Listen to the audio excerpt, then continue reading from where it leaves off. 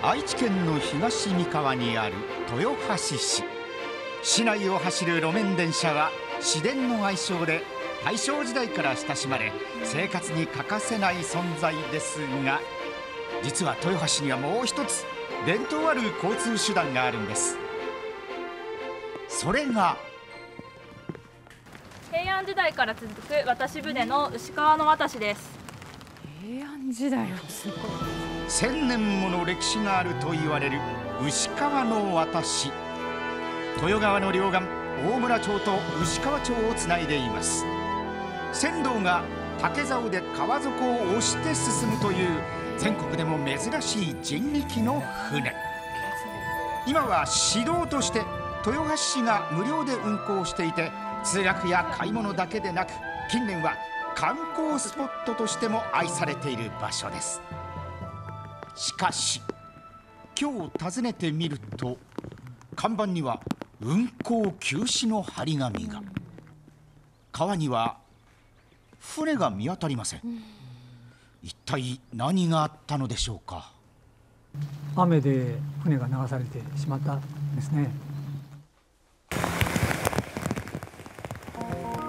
東海地方の各地に被害をもたらした今月2日の記録的な大雨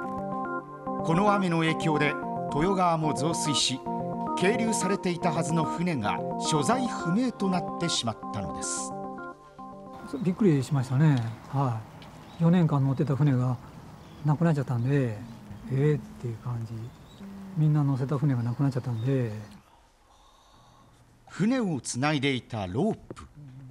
先端を手繰ろうとすると流されてきた木の皮や枝が絡まり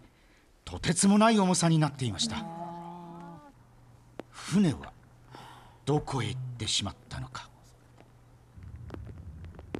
豊橋市に連絡が入ってきたのは大雨から2日後のことでした。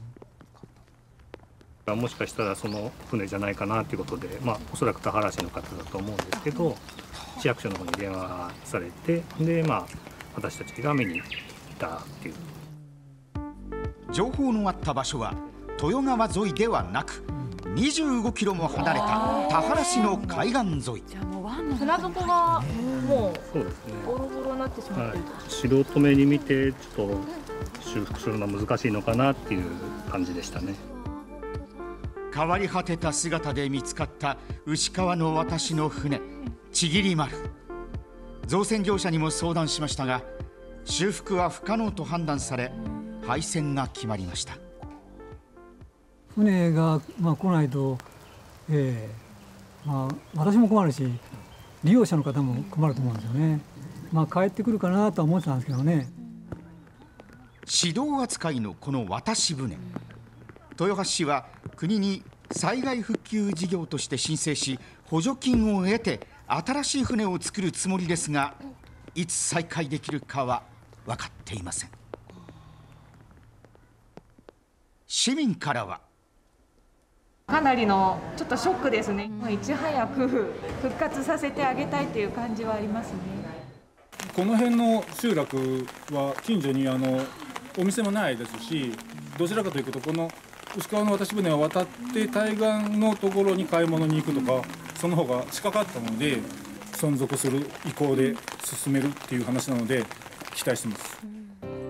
千年続いてきたという歴史をこの先もつないでいくために船頭は新しい船が出来上がるその日を待っています。